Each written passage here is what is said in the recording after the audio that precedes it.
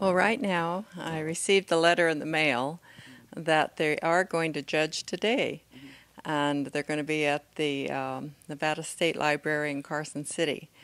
So the meeting is an open public meeting as well. And it starts at 1 o'clock and it goes to 5, uh, unless it's short, shortened for some reason.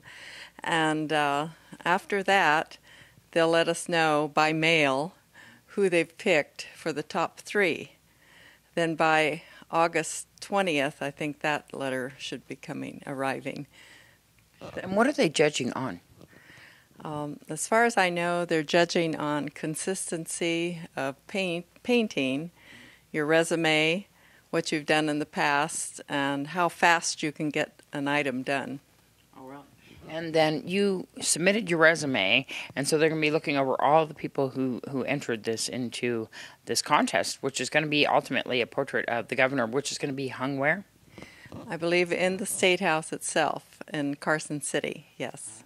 And so you won't know for a few weeks what the results of today are? That's possible, yes, unless uh, the letter gets here earlier. There you go. And um, so you're going to keep us updated on what's going on with that, right?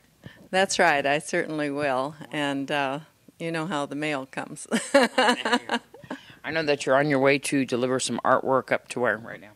yes, uh, the winery is going to have an open show, and all the PAC members are invited to hang their pictures, three or three of whatever they want to. So that's fun. When is that going to be open?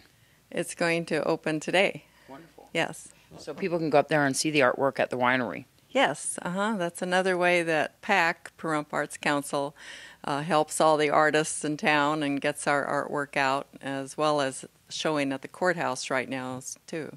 And there's one other thing that you would like to say, Lulu. Tell me what that is. Yes, I certainly would. I'd like to thank God for my talent, and and I just hope I please Him in it. Thank you. I'm sure that you will. I'm sure that you have. And um, thanks so much for sharing this story with us and keep us posted. Thank you, Deanna. Thank you.